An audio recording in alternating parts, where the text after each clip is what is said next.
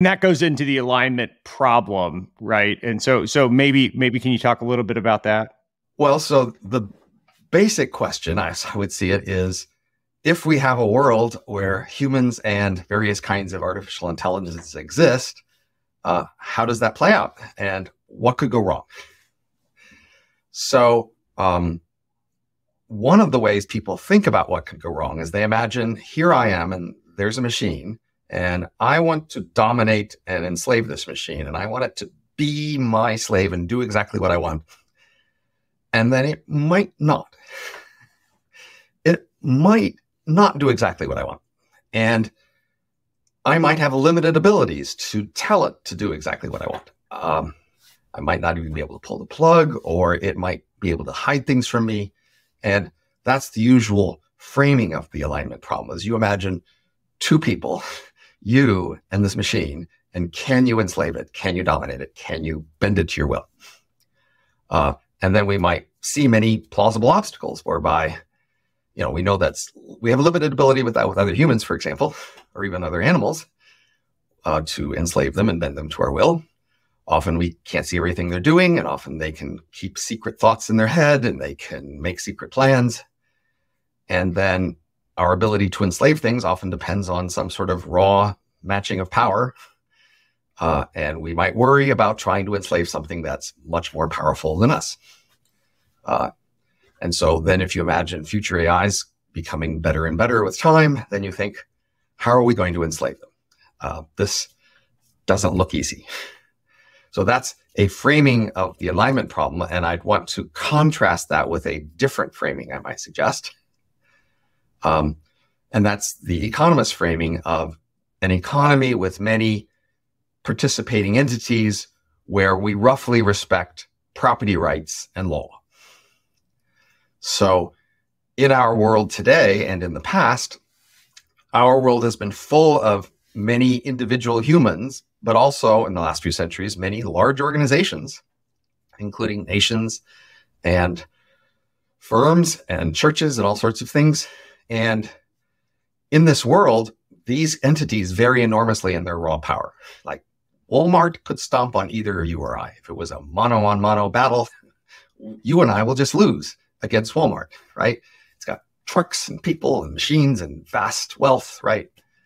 So you might think, well, obviously we're in trouble here with alignment in our world. Walmart isn't aligned to you or I. Walmart has its own agenda. It wants to make profits off of you or I, say. And so we're in this unaligned world problem right now.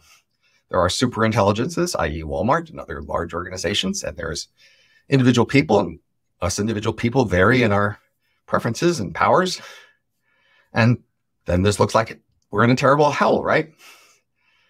But in fact, our world isn't such a terrible hell.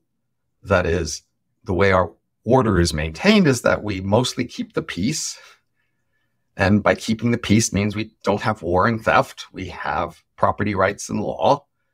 And that means we can each be free to choose where to live or where to work whether to work for Walmart, whether to shop at Walmart. And that competition among us all keeps these organizations in line mostly. That is, Walmart struggles to sell things to you or me.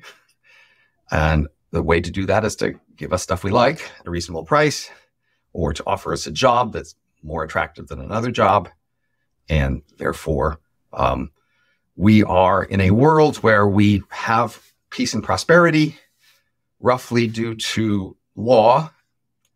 And our best understanding of what law is and how it works is that it's efficient, i.e., it's it's a good thing in general. We're, even if we have very widely differing wants, to agree together on a law and enforce it, so that we can avoid conflict, we can have property that we invest in, and that's all good. And so, our world robustly has law and property, which then allows us to live and work in peace. And that could continue with artificial intelligence. That is, um, now firms are producing artificial intelligences and they're offering them for sale, and they are they are wary of losing control of them.